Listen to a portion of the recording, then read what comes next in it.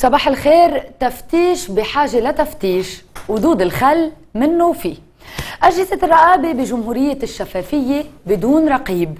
ملف النفايات كشف المستور بكواليس الإدارات الرسمية.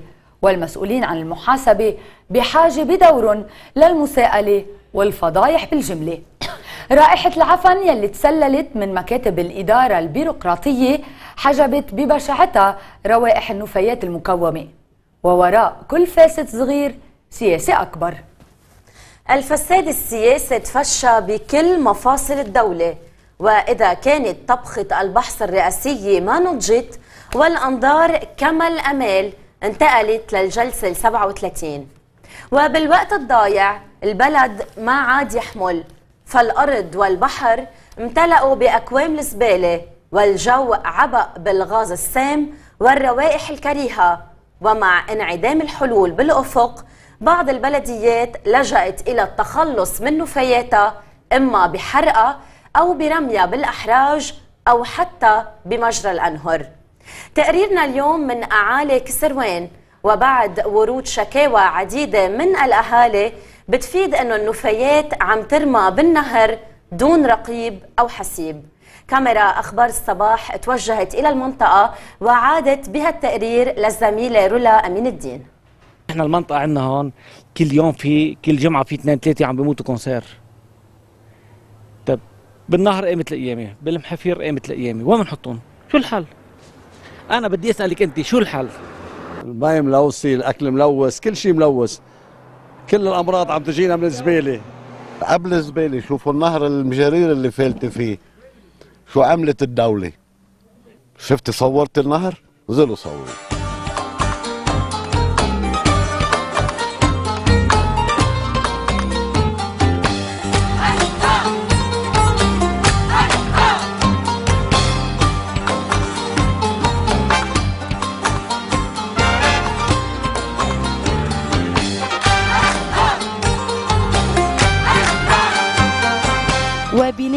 الشكوى لبينا الطلب واتجهنا إلى نبع اللبن بكفر دبيان نبع بيمرق بمنطقتي ميروبة وحراجل بغذي العديد من المناطق ومن ضمنها سد شبروح.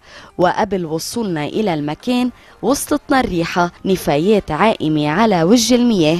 ومياه غزيرة لونها كفيل يخبرك مدى نسبة تلوثها. بيجوا من برا كاميونات. حتى ما بعرف من وين بيجوا بي- بيزتوا زبالتهم وبيفلوا. المي مش عم نشرب من هيدي بعد نشرب من أعلى من هيدي.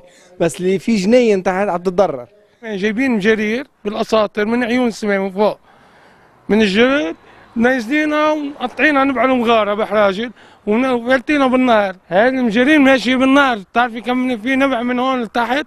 عم نسقي منها تفاح وزريعة ملفوف مش من جميع الخضرة. وعم تفوت بقلبها. يعني يعني هرمونات وهيدي. يا محلى الهرمونات على هيدي. هلا صرنا نخاف نشرب مية النبع. يعني بختار على راس حدا إنه مية نبع واحد يخاف منها هاي الحكومة اللي دايرة المجرير بالنهر نازل.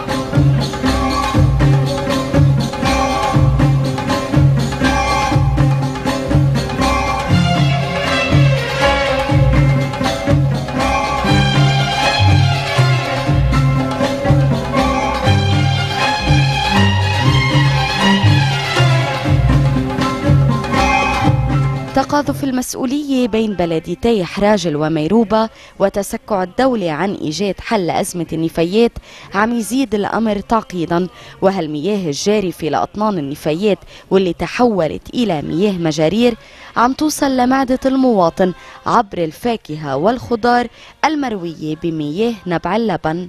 مية نبع اللبن ما بنستعملها لا للأكل ولا للشرب. نحن بنستعملها لنقضي فيها بس.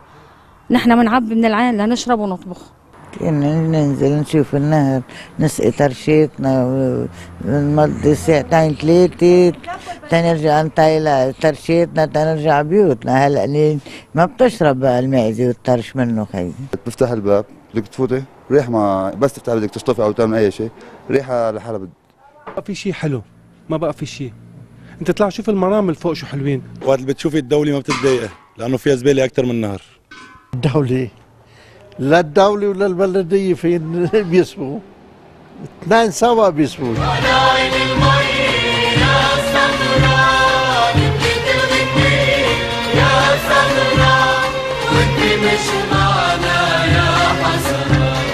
والعاشق ناطر عطشان وناطر.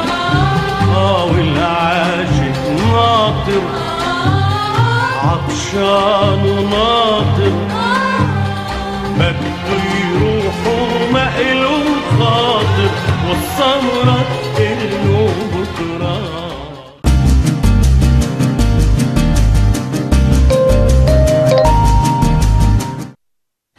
منتابع حلقتنا وبعيدا عن الأزمات السياسية والبيئية والاجتماعية. ننتقل إلى وجه آخر من لبنان الوجه الحقيقي اللي بيعكس إرادة شعبه وتصميمه على الحياة.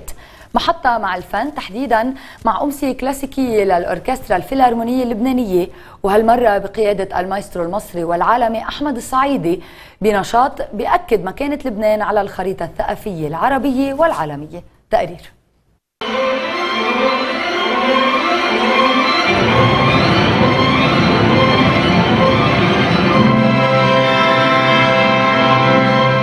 داخل كنيسة القديس يوسف للأباء اليسوعيين تم إطلاق أمسية كلاسيكية مميزة وصل صداها إلى الروح والجسد والعقل. هالأمسية الكلاسيكية كانت بقيادة المايسترو المصري والعالمي أحمد الصعيدي يلي عم يوضع بصمة فنية لرابع مرة مع الأوركسترا الفيلارمونية اللبنانية والحفل هو بدعم من السفارة المصرية بلبنان. أكثر تفاعل ثقافي مشترك عربي بيني هو التفاعل المصري اللبناني تفاعل تاريخي وليس أمرا غريبا يعني أمر نحن معتادين عليه وأنتم معتادين عليه. بعده لبنان منارة للثقافة حب الناس للموسيقى موسيقى بجد موسيقى اللي لها جذور اللي بتعطيكي لغة بفهمها كل البشر. بعده اللبناني متمسك فيها. والنهاردة إحنا عندنا برنامج نقدر نقول إنه هو ينتمي آه، يعني برنامج كلاسيكي رومانتيكي. في الجزء الأول منه في افتتاحية ليونورا ثلاثة ودي إحدى الافتتاحات اللي كتبها بيتهوفن الاوبرا الشهيرة آه، ال- ال- الوحيدة اللي ألفها. مقطوعات كلاسيكية بيتهوفن أوفرتور في عنا آه، عزفة الفيولونسيل كابرالوفا فيكتوريا يلي رح تلعب ال concerto ل violoncelle orchestre ل Haydn. وعنا آه، الختام مع آه، شومان والسيمفونية آه، الثانية I think the Lebanon is one of the country that uh, execute and uh, the classical music in uh, at the most talented way. أنا كتير بحب إنه إجي كل أسبوع ومن كم أسبوع أنا كنت عم بغني كمان وهيك بيجي كمان بشوف رفقاتي هن عم بيعزفوا. ولاحظت إنه من كل الأعمار صاروا عم بي- بيجوا يحضروا وهذا الشيء كتير حلو بفرفحني.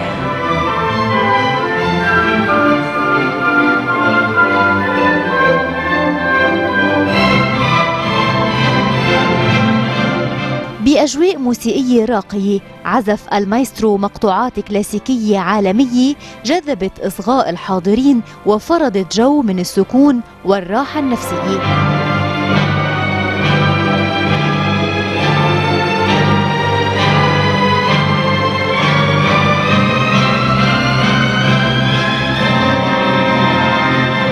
الموسيقى حلوة واللي بيسمعها مهما كانت يعني أعصابه تعبانة. بيروق بيروق. تشيل الهم من القلب وبتعطي دفء معنوي بالحياة. أنا بعرف شوي بالموسيقى وكل ما بحضر بشوف إني عم بت... عم بغتني. موسيقى كلاسيكية ده جزء من حياتنا. الله بيحبنا إنه كل نهار جمعة في موسيقى هون نجي بنحضرها وبننبش عليها وبنفتح الإنترنت ونطلع شو البروجرام حتى نجي. هيدي مسجلة عندنا. كل نهار جمعة 8 ونص نحن هون. نجي لأنه بنحس إنه notre esprit, notre âme, notre corps se détend. إنه بتهذب الذهن الموسيقى. هي مثل فرصة تواحد يغير جو ويستمتع بموسيقى يعني شيء جديد مزج بين مصري ولبناني